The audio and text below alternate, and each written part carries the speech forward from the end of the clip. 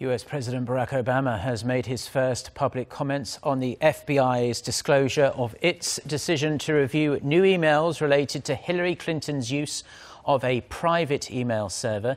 He criticized any actions that could allow suggestions and innuendo to prevail over facts. Lee Unshin reports. President Obama isn't thrilled about the FBI's disclose its review of new emails that may or may not be linked to Hillary Clinton's use of a private server while she was Secretary of State. In an interview with NowThis News released Wednesday, Obama said, quote, I do think that there's a norm that when there are investigations, we don't operate on innuendo, we don't operate on incomplete information, and we don't operate on leaks. We operate based on concrete decisions that are made. And she is tough.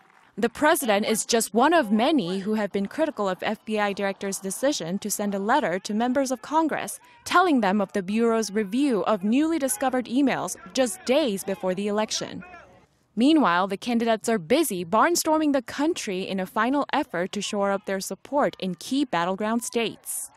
According to RealClearPolitics electoral map on Wednesday, Clinton has 226 of the 270 electoral votes needed to clinch the election to 180 for her rival Donald Trump.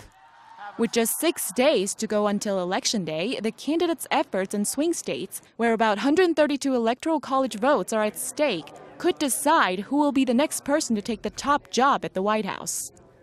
이은신, 아리랑 뉴스.